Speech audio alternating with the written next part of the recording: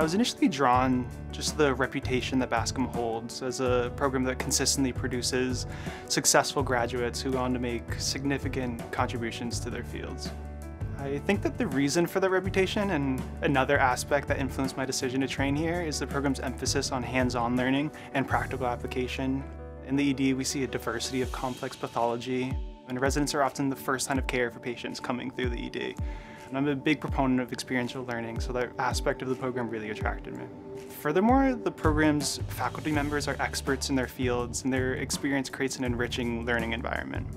But I think that the level of autonomy and opportunities to do procedures early on at Bascom is really special. I remember my first day rotating at the VA as an intern. I had the chance to do PRP on a patient and did at least 15 or so anti-VEGF injections, and I, I don't think there are many programs in the country where that can happen. And of course, I think it's the, really the people that make this a special place. The, the faculty, often renowned in their fields, are really approachable and friendly. And the residents look out for each other. The upper level classes go out of their way to help out and teach, uh, and the classes become really close. I, I'd say my year gets together at least once a week for dinner, to play pickleball, or to go to the beach.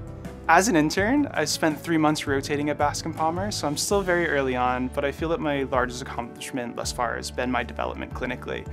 We have the opportunity to rotate on the consult service, seeing a variety of acute pathologies, and that experience really gave me a lot of confidence in my clinical and exam skills.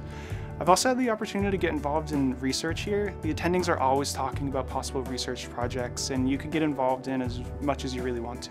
Bascom Palmer provides comprehensive and diverse clinical exposure to a wide range of eye conditions and complex cases.